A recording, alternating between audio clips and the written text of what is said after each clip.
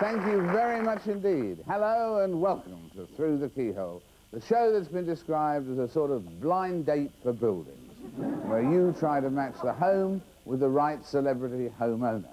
As always, we've borrowed the keys to two fascinating homes belonging to two well-known personalities, and with the help of the sainted Lloyd Grossman, we'll be taking a privileged peek behind closed doors. But the question is, whose? Well, to try and answer that question, we have our panel.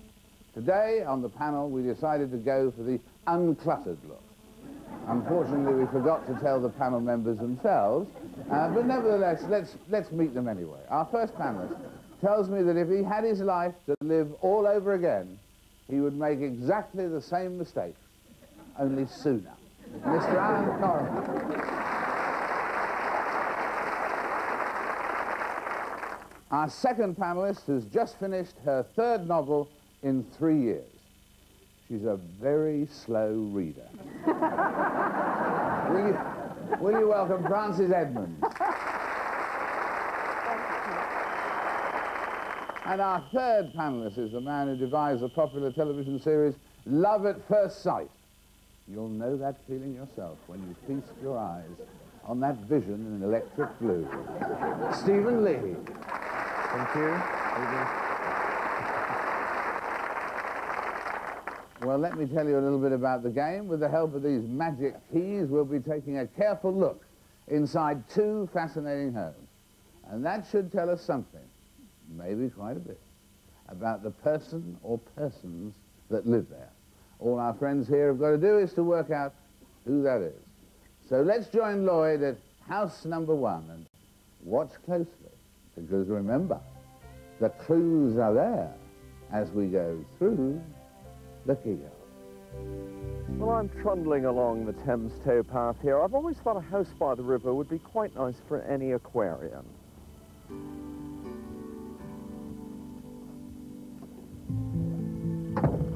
Well, whoever lives in this flat is used to taking big and bold decisions. After all, if your front wall has seven doors, you can't shilly-shally. I think I'll choose this one.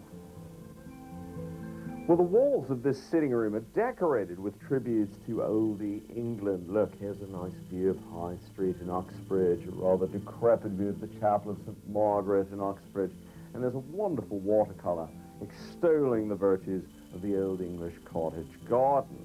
I also like that set of cigarette cards all about the old traditional counties of England. But this person's horizons are slightly broader than that. Because wherever you look in this room, there are a lot of Oriental influences. There's a terrific Chinese wall hanging, a Chinese carpet, and bold Oriental patterns all over the fabric here. So this person gets around a bit, is a bit of a jet setter. Nonetheless, their heart really is in Middlesex. From the ancient Middlesex of the Domesday Book right up to contemporary Middlesex as the Thames glides by underneath these windows. This is a nicely astrological duvet cover, so it's not surprising to see that the bedside reading includes the practical astrologer. But of course, whoever lives here eats, breathes, drinks, and sleeps Middlesex, so that book is accompanied by a copy of the Middlesex County FA official handbook. On the wall behind me, a very detailed map of the Blessed County. It almost looks as if someone's planning a military campaign here. Now, this whole room is devoted to Middlesexism, framed tea towels, and a beautiful old cast iron county marker. Middlesex sports are very important to this person as well. He's a devoted supporter, for example, of Ruislip Manor FC.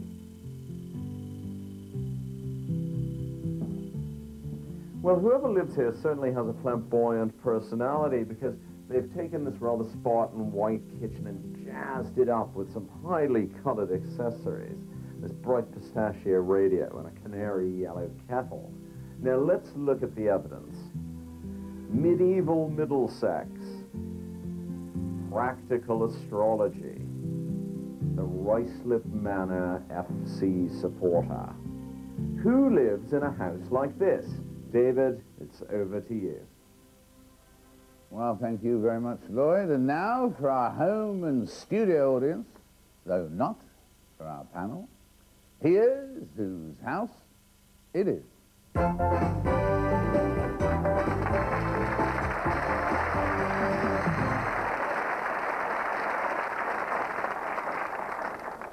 We begin with the wise one, Alan.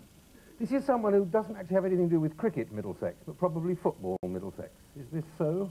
Well, I don't know whether Middlesex have a football Well, team. they, he had Yeading on the wall as well as Ruislip. Now, I happen to know Yeading is a, is a great club. Um, and I wondered who will be interested in two uh, great Do, Middlesex do they football play clubs. Cricklewood? Do they play- Not often. Not often. But this, this person has a bob or two.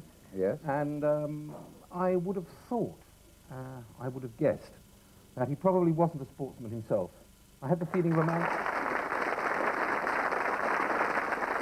Frances. Um, obviously, whoever it is, and I think we're looking for a man here, because there's a, there's a, there's... You know, my feeling is too, this is a lovely house on the Thames, but there aren't a lot of knickknacks there. I think it might be a secondary, a secondary house for this person. You know, sort of like his away from home place. Well, you are you are absolutely right about that, and I'm I'm very impressed by our audience knowing these details as well.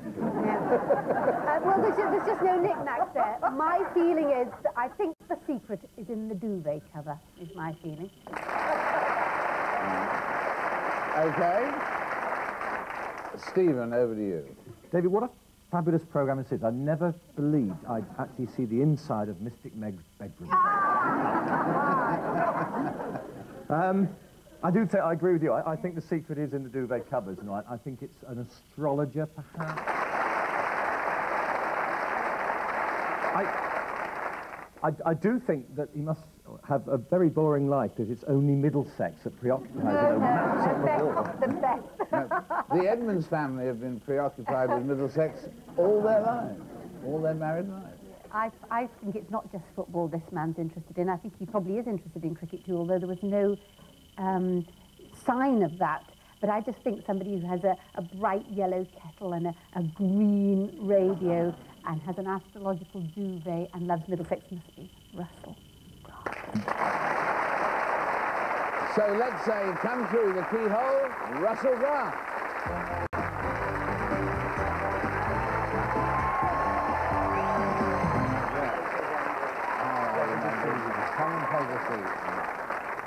There you are, a terrific welcome and an astrological pulley.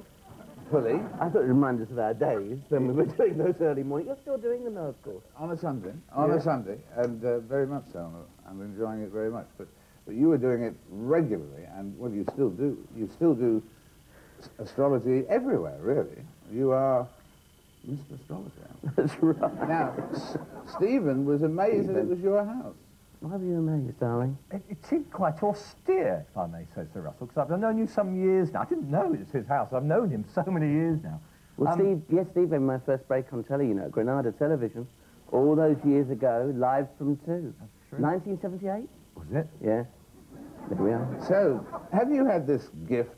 How old were you when you discovered this gift? When you were eight, wasn't it? Yeah, well, I mean, I actually worked in the psychic world um, with that you, late, great Doris Stokes, was where I um, actually really got into it more. But then I became an astrologer about the age of 15, 16.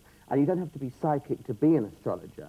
You can actually go out and learn astrology. Anyone can do it. But the psychic world, yes, I got involved with at a very early age. And what, and what did you find out, or what did you predict? Well, it wasn't so much prediction, it was the fact that um, I got this very strange feeling. In fact, my mum was driving a little um, Mini, and um, I saw the wing dented in. And I said to my nan, Mum's had an accident. So she said, what do you mean? So I said, look, the wing, wing's dented in. She said, it's not. And it wasn't when I looked again. Um, Mum came back later that day with the wing dented in because um, uh, she had an accident. So I'd seen that in the morning.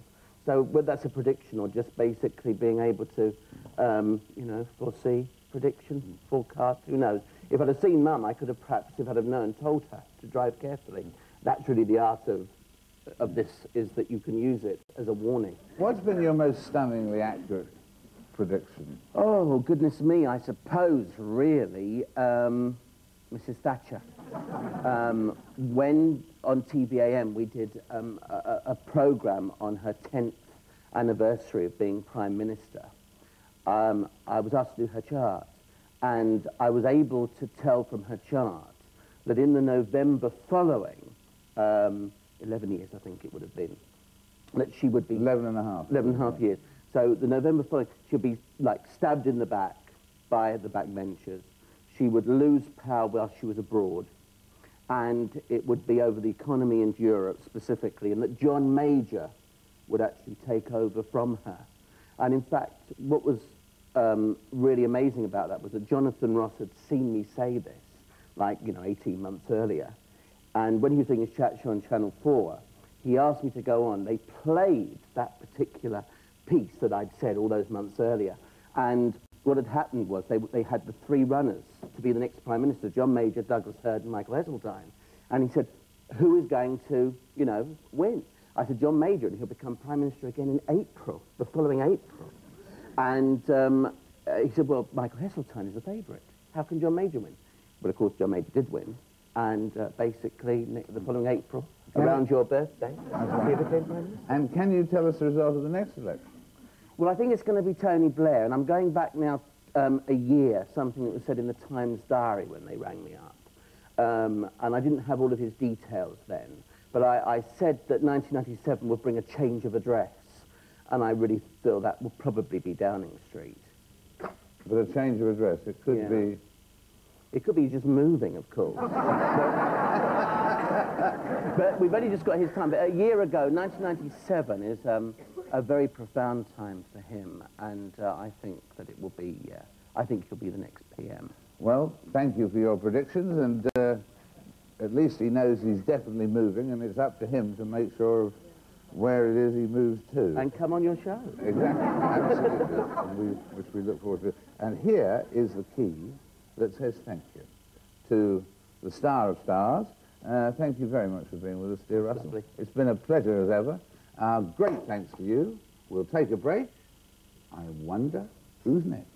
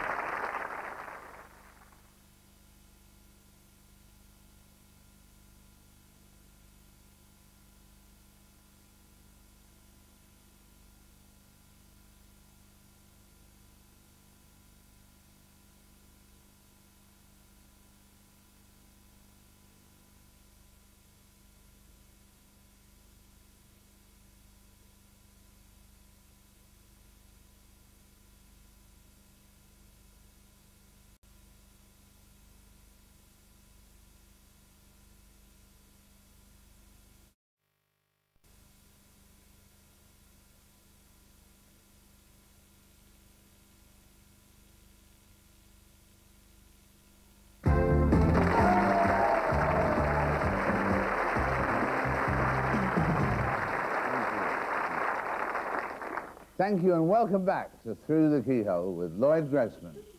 It was Lloyd who said, never forget that the word American ends with I can.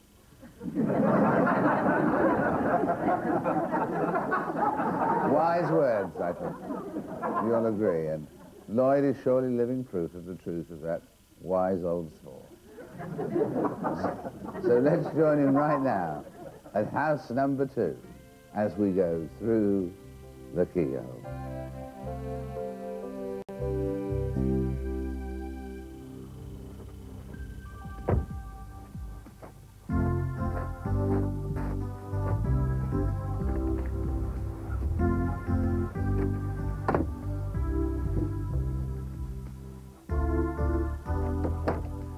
Well, as you enter the house, you come straight into this big, wide, and handsome room, which is like a cross between a hall and a drawing room.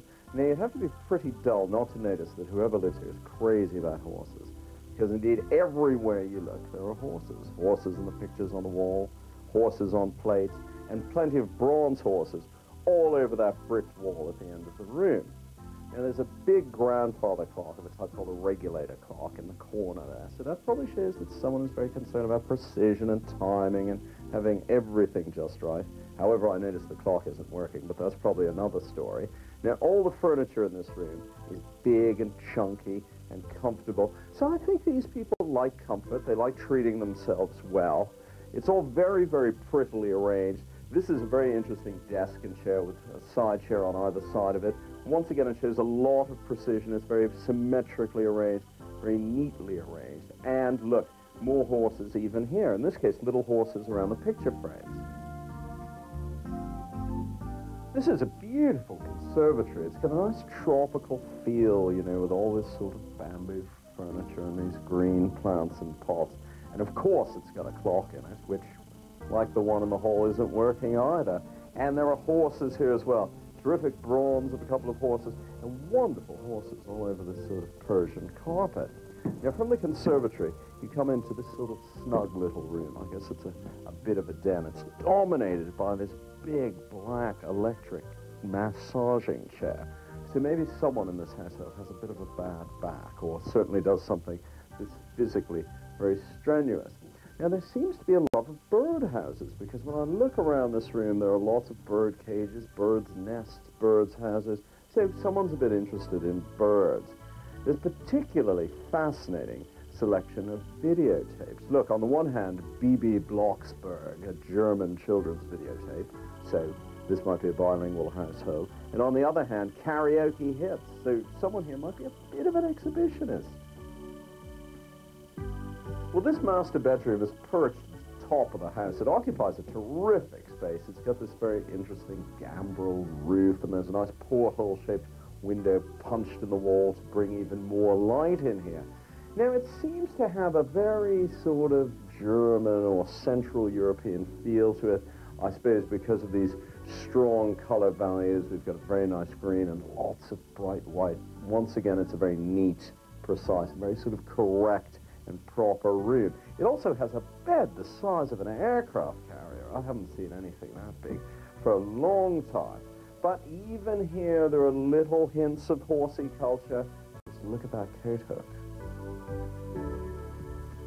Well, I suppose having to climb these steps gives bath time a real sense of occasion, doesn't it? Now, of course, there are horses in here, because there have been horses in every room in the house. But I'm a bit more fascinated by the ducks. Now, some of the ducks in here are actually quite smart. These sort of china ducks holding soap. But maybe a duck that's slightly more revealing is the rather jolly Olympian version of Ed the Duck. Now, let's look at the evidence. The precision timekeeping, the bilingual household, the horsey artifacts. Who lives in a house like this? David, it's over to you. Well, thank you, Lloyd. And now for our home and studio audience, here's whose house it is.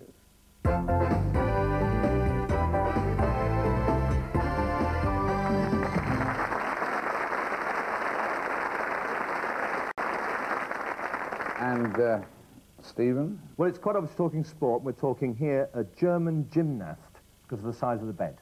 Well, that could well be true, but it isn't. Um, I think that the, the, all the horses, the actual um, horses with jockeys on, as in horse racing, was a false lead. I don't think it's horse racing. I think it's more. Thank you. Um, more show show jumping. Um, All right, that...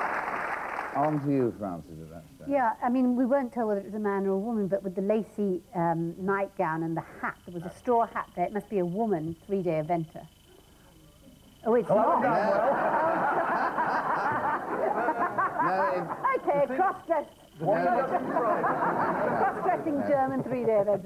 three-day event or no three-day event. Think about the in straw fact, we are... Right. The household, there is a man and a woman who live in this household, but it is, in fact, the man that you're... We're looking for the man. Oh. I think this is someone who rides horses with a great deal of precision for a very long time because you need a massage chair if you do that. Uh, and I think they are, Well, I think that deserves... German it. or not, I, I think they're uncomfortable and uh, they're clearly um, cross-country or whatever. They are eventers. They are. They spend a lot of time on the horse and come back home and get into the electric chair, or the horse gets into the electric chair. Maybe it's the mafia. Perhaps they just go to bed and the horse is heading. Yeah, yeah, that's possible. There's room for that. But as you say, there's room for the whole horse in that bed. Now, There's a German name. No, I we'll find out why all the German things. But it may well be the lady of the house may be responsible for that. Ah, that's So it's a male- thing. it's a male British show jump. Olympic show jumping champion.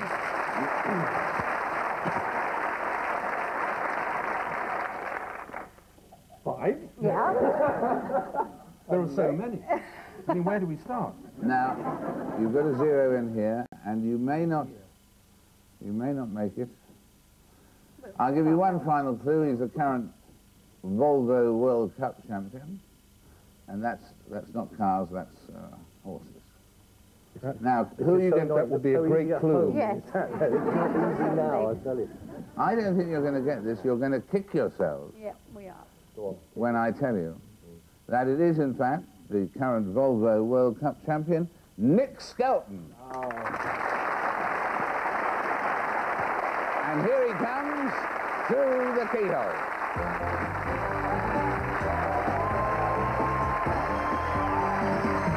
Great Come and take a seat.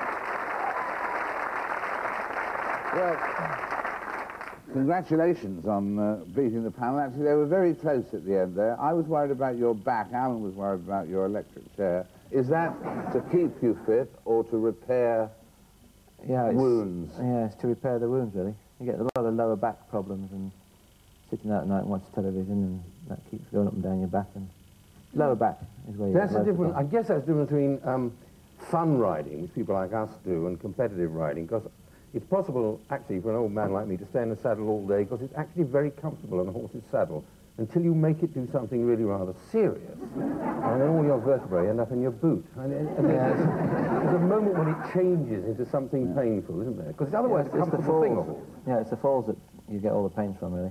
And uh, I get, well, you get quite a few of those. Someone, it's because of Bettina, is it, that the, the German influence? Yeah, m- my It's not your- girlfriend's, uh, she's German, and that hence uh, the um, German tapes, because her daughter was German. sidetracked on that. And then the bedroom, she did that, and that's all in German, so... And the lacy negligee, hers as Yeah, that's not mine. Why all these stopped clocks unless you don't wind them or Yeah, well, fail to put batteries in? Uh, Was there any sort the of metaphor there? The one in the conservative, the batteries ran out. I think that never got. And the grandfather clock, I think it's on a bit of a tilt, and that stopped working. Oh, so there was nothing in that at all? Not really, no.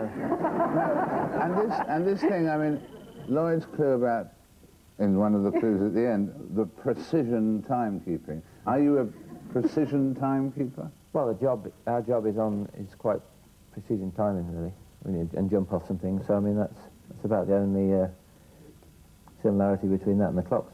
Is that mass massive collection of horse horsey things totally collected by you, or is it the sort of thing that people now give you because they know you collect horse things? No, they're, they're generally um, trophies and things, like the bronzes and uh, carpets and the, the clock.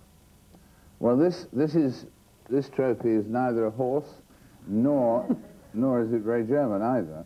Uh, but it's our way of saying thank you to you both Thank you very much. letting us visit with you, and it's been great fun. Thank you. Thanks a million for everything, Nick. That. Thank you. Our huge thanks then to Nick Skelton. And of course to Russell Grant as well. Not to mention Alan Coren, Frances Edmund, and Stephen Leahy. And our thanks to you too. Until next time, goodbye for now.